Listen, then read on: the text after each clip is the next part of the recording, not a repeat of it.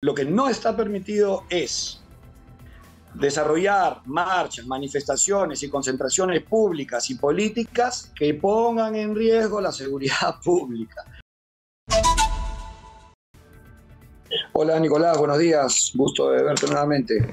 Hoy em, eh, se, empieza a aplicar, ¿no es cierto?, la intangibilidad del Centro Histórico de Lima. ¿Por qué, ¿Por qué no lo, ya está publicado en el peruano como corresponde? ¿Qué significa esto en términos prácticos? O sea, explícanos cómo es esto de la intangibilidad del Centro Histórico. ¿Qué está permitido, qué no, eh, qué es lo que va a pasar?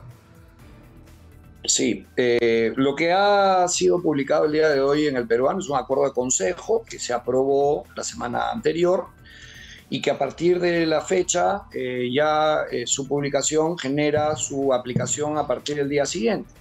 se ha declarado que el Centro Histórico de Lima es zona intangible para el desarrollo de marchas, manifestaciones y concentraciones públicas y políticas que pongan en riesgo, y eso es importante, Nicolás, precisarlo, la seguridad pública.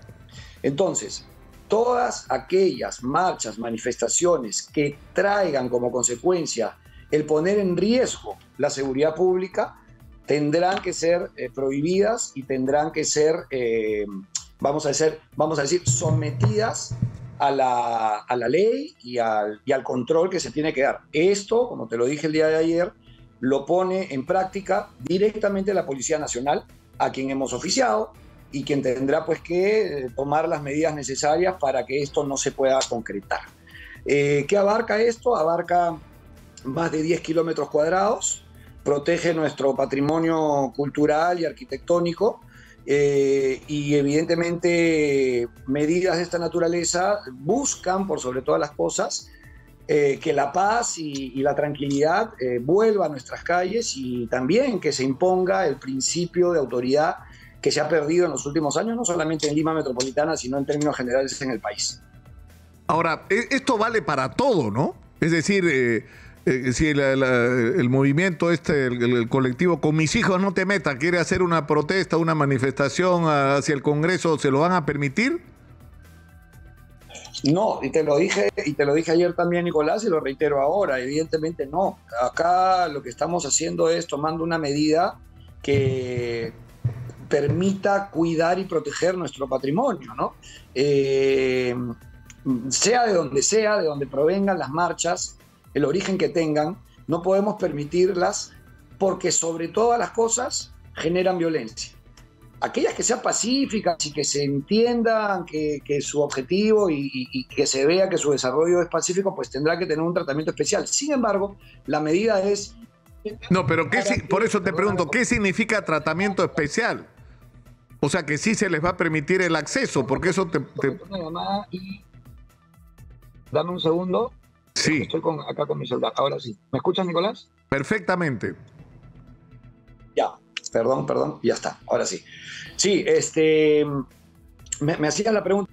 Claro, lo que, lo que, de lo que hablábamos era, esta, esta, esta, prohibición es en general para cualquier tipo de manifestación que se realice dentro del centro histórico. No va a haber más manifestaciones dentro del centro histórico. Es decir, si tú quieres organizar una concentración de cualquier tipo, eh, política, de algún movimiento cívico, de lo que fuera, la tienes que hacer fuera del perímetro del centro histórico. Ándate al campo de Marte si quieres. Ahí sí está permitido. Exactamente. Ahora no es que va a haber excepciones. exactamente. Y quiero dar lectura, y, quiero dar lectura, permíteme también, eh, ayer me hiciste un comentario relacionado, si no me equivoco, al Tribunal Constitucional. Eh, me entren y me entren llamadas. Ayer me, me, hiciste un comentario, si no me equivoco, al Tribunal Constitucional. Quiero dar lectura a, un, em, una sentencia del Tribunal Constitucional del año 2005 en su fundamento número 16 dice lo siguiente, el derecho de reunión, como todo derecho fundamental, no es un derecho absoluto o ilimitado. Entonces, si, si a raíz de estas reuniones hay como consecuencia violencia, evidentemente se tienen que tomar medidas como la que hemos implementado para proteger por sobre todas las cosas el patrimonio cultural, para proteger a las personas y para que tengamos una, una vida pacífica, ¿no? Así que este, mm, en esa línea estamos actuando, ¿no? Y estamos trabajando. Claro, porque, o sea, lo que te van a decir es que esto eh, va a tratar de ser discriminatorio, es algo así como están prohibidos las marchas de izquierda en el centro de Lima, pero las demás eh, que garanticen que sean pacíficas eh, sí van. O las manifestaciones. Tú, tú, ustedes son conscientes que, por ejemplo, ha sido una tradición que se ha ido perdiendo, pero fue una tradición durante muchos años, que los cierres de campañas políticas de los partidos han ocurrido en la Plaza San Martín, en primer lugar, frente al al Palacio de Justicia, ¿no es cierto? En el, espacio este, ¿no? Entre el Hotel Sheraton y el Palacio de Justicia, o en la Plaza 2 de Mayo, ¿no? El Paseo de los Héroes, la Plaza 2 de Mayo eh, y sobre todo la Plaza San Martín. Son los tres escenarios donde tradicionalmente ha habido concentraciones de cierre de campañas de los partidos políticos. Eso no va a ser posible de ahora en adelante. De ahora en adelante no, Nicolás, porque la intangibilidad es para todos. Aquí no se puede dictar una norma, una medida este, para unos y para otros no. Evidentemente, vuelvo a decirlo y lo dije ayer también, es una medida dura, es una medida eh, que puede traer reacciones y que puede incluso generar eh, algunos procesos que quieran iniciar quienes se puedan sentir afectados, pero nosotros tenemos que mantenernos en nuestra posición y, y proteger el interés público, ¿no? Eh, somos quienes administramos la ciudad y, no podemos estar de brazos cruzados y tenemos que seguir actuando eh, al amparo de la ley, por supuesto, pero dotando de mecanismos para que no haya descontrol, para que no tengamos que todos los peruanos ser testigos de, de lo que ya hemos vivido hace unas semanas atrás con muchísima violencia que incluso trajo como consecuencia la pérdida de vidas humanas, que eso es lo más lamentable, ¿no? Y, eso, para eso tratamos de plantear este tipo de dispositivos para evitarlo, ¿no? Para evitarlo por sobre todas las cosas. Ahora, eh, cuando tú hablas de tratamiento especial, has usado la expresión en algún momento de, habrá casos en que habrá un tratamiento especial, ¿a, qué te estabas refiriendo exactamente? No, porque de repente grupos que que puedan transitar por la zona y que no haya necesariamente un fin eh, político, un fin violento. De pronto eso, eso se maneja de una forma distinta. Pero la marcha, o sea, por ejemplo, la marcha del orgullo. Para... La marcha del orgullo, que antes era el orgullo gay, ahora es la marcha LGTBQ eh, es por lo general una manifestación muy pacífica, ¿no? ¿no? Nunca se han reportado incidentes de violencia relacionados con este tipo de manifestación. En realidad no es una protesta, es un... ¿No? Por, eso mismo di, lectura, Nicolás, al dispositivo y al título del dispositivo que ha salido publicado el día de hoy en el peruano, que lo tienen ustedes en, en pantalla en este momento, ¿no? declaran que el centro histórico de Lima es zona intangible para el desarrollo de marchas, manifestaciones y concentraciones públicas y políticas que pongan en riesgo la seguridad pública. Creo que es bastante claro eh, lo que se establece en el dispositivo y en los considerandos y, y todo, todo aquello que implique poner en riesgo esa seguridad pública tiene que ser prohibido y restringido. Y aquí mi invocación nuevamente a la Policía Nacional para que adopte las medidas, seguramente habrá un plan eh, táctico y estratégico para que este, no, no, tengamos pues que, que, recurrir ya a otras instancias, porque el dispositivo también contempla que la Procuraduría tendrá que iniciar un proceso legal y judicial posteriormente y el propio Ministerio Público de Oficio puede y tendría que actuar siempre que se viole esto que eh, ha sido un acuerdo, eh, además, aprobado por unanimidad en el Consejo Metropolitano la semana pasada. Ahora, eh, me queda claro entonces, o sea, va a permitirse algunas manifestaciones sobre las que tengas la garantía de que no va a haber ninguna amenaza. No, no, ninguna. Ninguna, Nicolás. Ninguna. No, no. O sea, la, la medida es para que no se permitan esas manifestaciones. Porque imagínate esta sí, esta no, cómo analizamos una u otra. El dispositivo es para todos. No, pero, pero tú me lo acabas de decir, Renzo. O sea, pero por ejemplo, yo te digo, una concentración. O sea, por ejemplo, con mis hijos no te metas. Entonces, no, pero por eso, te lo digo. Una, marcha, ninguna o sea, manifestación, ¿no? O sea, yo te digo, con mis hijos no te metas. Eh, uno puede estar de acuerdo, en contra, cada uno tiene su punto de vista sobre ese tema, pero en general ha sido pacífico lo de con mis hijos no te metas. La marcha del orgullo LGTBQ más. siempre ha sido pacífica, es eh, casi una fiesta, un carnaval, ¿no es cierto? Eh, nunca ha habido incidentes de violencia alrededor. Ese tipo de actividades sí se van a permitir, es lo que te preguntaba. no, no, porque eh, lo que estamos tratando de hacer es evitar las concentraciones y las movilizaciones, porque imagínate, Nicolás, también hay gente que se infiltra. También hay gente que se infiltra en las, en movilizaciones y en las marchas. Y esa gente que se infiltra es la que eh, en muchos de los casos, no en todos, eh, lleva violencia en su accionar. Entonces no es posible pues que para unos sí, para otros no. La medida es, eh, es severa, por supuesto, pero, pero es para, para su estricto cumplimiento. Ahora, la obligación de todos es cumplirla. Yo aquí invoco y aprovecho los micrófonos de ustedes para invocar a las personas que estén pensando una vez más en realizar este tipo de marchas, que lo eviten y que no utilicen el centro de Lima y nuestro eh, centro histórico eh, como un vehículo para, para tener una caja de resonancia.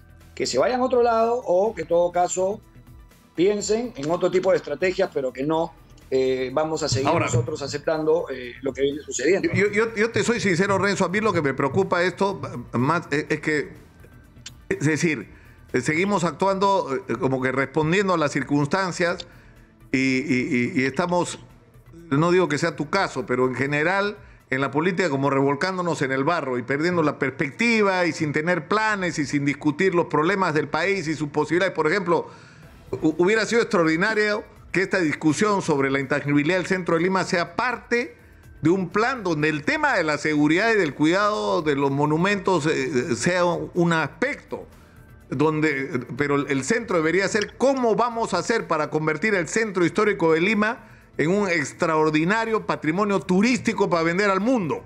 Eso es lo que deberíamos estar discutiendo. Y esto como parte de, como parte estamos haciéndolo, Nicolás.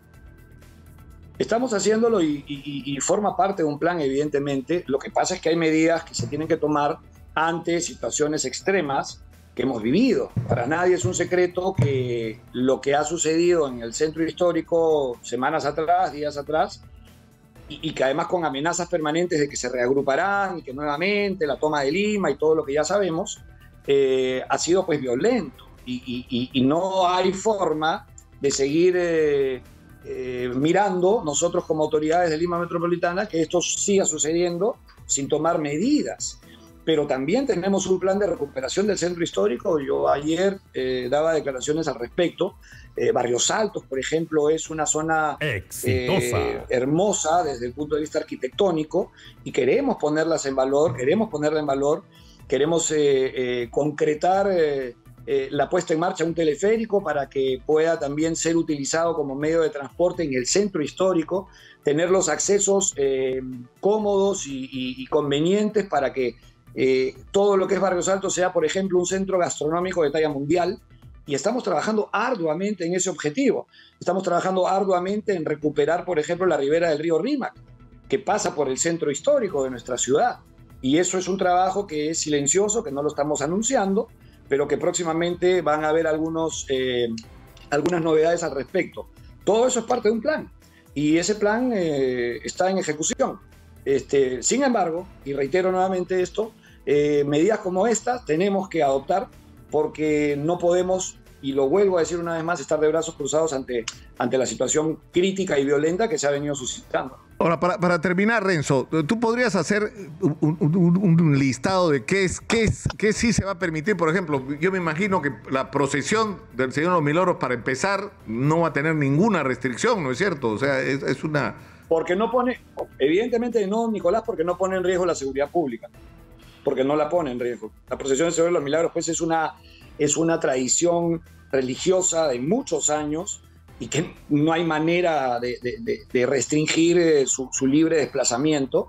Este, y es todo lo contrario a lo que, a lo que ha venido sucediendo. Entonces, evidentemente, la procesión del Señor de los Milagros este, está garantizada su, libre transitabilidad y, su eh, total libertad para, para movilizarse, ¿no? Ahora, yo te aseguro que van a enfrentar de todos modos, de, los dos extremos, ¿ah?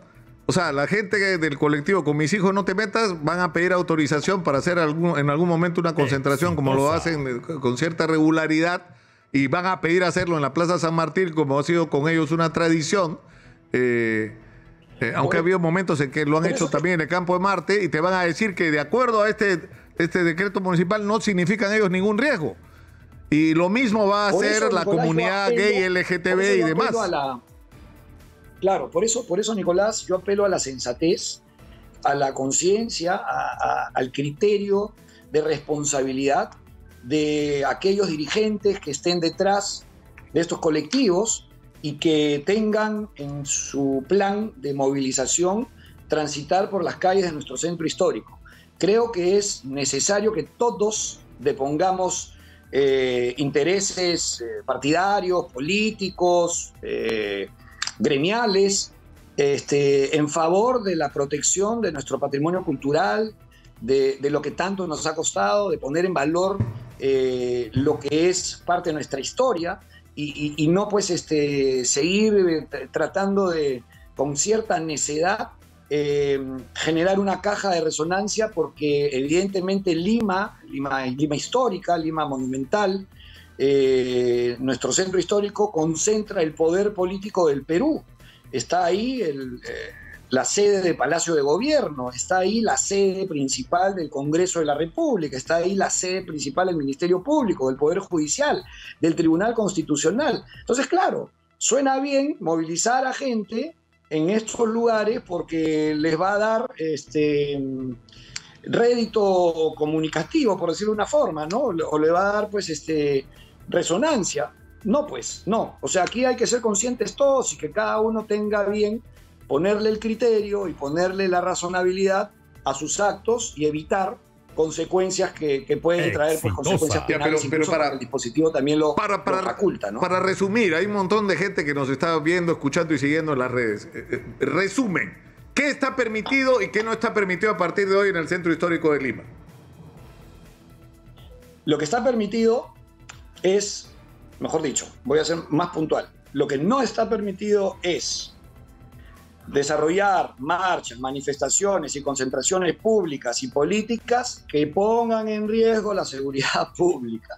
Yo creo que eso cualquier persona lo entiende, Nicolás. Entonces, no se puede pretender movilizar a personas para poner en riesgo la seguridad pública. Tirar piedras pone en riesgo la seguridad pública. Utilizar armas hechizas pone en riesgo la seguridad pública.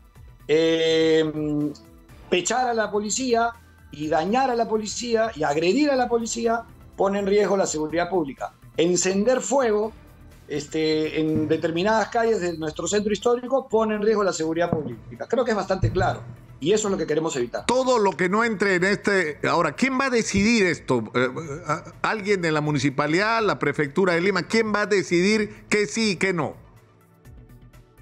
No, nosotros tenemos en el propio dispositivo y en el propio acuerdo de consejo tenemos los mecanismos para, en la medida que se viole lo alcanzado por el acuerdo, eh, iniciar los procesos legales y posteriormente judiciales, como a través de la Procuraduría de la Municipalidad Metropolitana, y eh, sancionar ejemplarmente. Además que eh, el Ministerio Público también tiene la libertad de actuar porque también lo contempla alguno de los artículos de este acuerdo de consejo.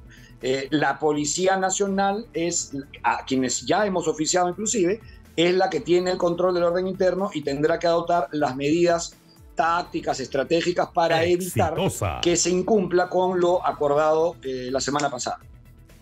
De acuerdo. Está muy, está muy claro, Renzo, y te agradezco. Eh, van a necesitar muchos policías para efectivizarlo, ¿no? Pero, en fin. Sí, sí. Eh, eh, es importante precisar, Nicolás, lo siguiente, porque me parece que es muy eh, necesario trasladarlo a, a, la opinión pública y a la población en su conjunto. Las coordinaciones con el gobierno central están en un muy buen momento, no solamente a nivel de seguridad ciudadana y a nivel de controlar nuestras calles, eh, desde la Municipalidad Metropolitana estamos haciendo el mayor de los esfuerzos, incluso colaborando con información, con lo que registran las cámaras de videovigilancia, sino también de otros sectores. Ayer había... Uy, uy, uy, se nos fue. En el momento, mejor momento, se nos fue la comunicación. Porque justo le iba a decir a Renzo Riardo eh, cómo da vueltas la vida. No quise imaginar este romance, por así decirlo, en términos políticos, quiero decir, ¿no? Eh, estrictamente entre Dina Boluarte y Rafael López Aliaga. Las cosas que se decían uno de, eh, las cosas que decía uno del otro hace solo unos meses, ¿no? y ahora están encontrándose amistosamente, como ocurrió el día de ayer. ¿podemos, ¿Podemos todavía recuperar la comunicación, señor Mangariño? Eh, porque es importante saber qué pasó el día de ayer. ¿No? Está, complicado. Está complicado, pero ya, lo, ya lo saben. Desde el día de hoy están prohibidas, eh, para ser claros, están prohibidas las manifestaciones y las protestas que se convoquen en el centro histórico de la ciudad. Ahora, ¿cómo va a ser la policía para controlar que esto no ocurra? Pero en fin, ya estamos. Renzo, te, decía, ¿cómo da vueltas la vida? Hace unos meses Dina Boluarte y Rafael López Alea no se podían ni ver.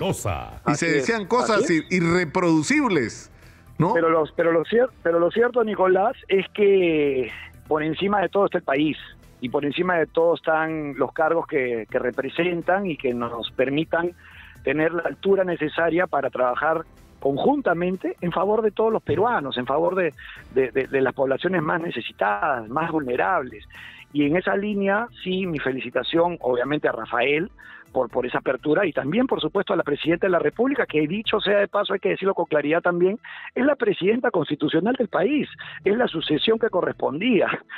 Acá no, no, no podemos estar hablando de golpistas y de, y de personas que han usurpado el poder o que han eh, irrumpido con violencia para hacerse del poder. Somos, eh, en nuestro caso, somos eh, autoridades representativas de toda esta población inmensa que representan 11 millones de, limeños y en el caso de la señora Boluarte formó parte de una plancha presidencial que le tocó suceder a quien hizo un ejercicio del poder fatal, que es este señor Castillo, que esperemos se mantenga en donde está por mucho tiempo, ¿no?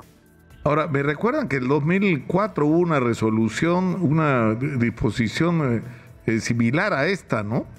En el año 2004, hubo una... Eh, se sacó una ordenanza similar a esta y hubo una resolución del Tribunal Constitucional el año 2004. No, no, no conozco los detalles. Usted me imagino que ha revisado este antecedente, ¿no? Sí, sí, además, eh, la sentencia del Tribunal Constitucional es del 7 de diciembre del 2005, me imagino que es la misma a la que tú te estás refiriendo, pero esta sentencia, precisamente en su fundamento número 16, creo que di lectura hace un rato, claro, dice expresa que el derecho de reunión, como todo derecho fundamental, no es un derecho absoluto o ilimitado. Queda claro que las reuniones y las concentraciones tienen que garantizar por sobre todas las cosas la tranquilidad.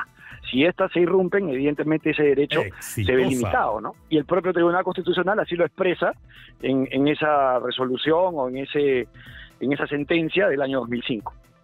Renzo, te agradezco muchísimo. Y un consejo para lo de la recuperación. O sea, yo creo que hay que eh, mirar hacia el futuro. Es decir, está, estamos tan mal, ¿no?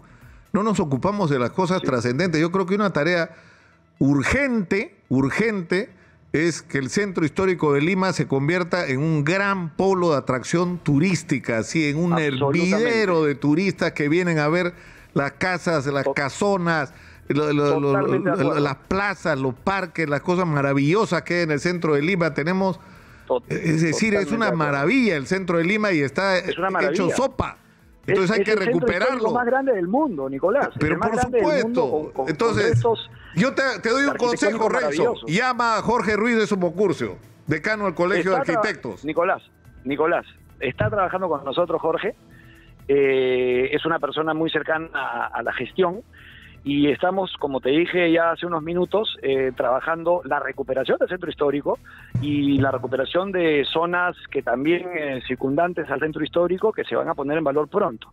Así que confíen en que no, no estamos de brazos cruzados y estamos trabajando arduamente en esta nueva gestión, en esta nueva administración que lidera Rafael López Aliaga. Renzo, un abrazo, muchas gracias, muy buenos días. Gracias Nico, un abrazo grande. Muy buenos días. Eh, hay, un tema, antes, tengo un par de minutos, ¿no, señora Magariño, antes de ir a la pausa. A mí me sigue preocupando este, este tema. Yo creo, eh, eh, cambiando de tema, ¿no? Para hablar del tema de la, de la seguridad.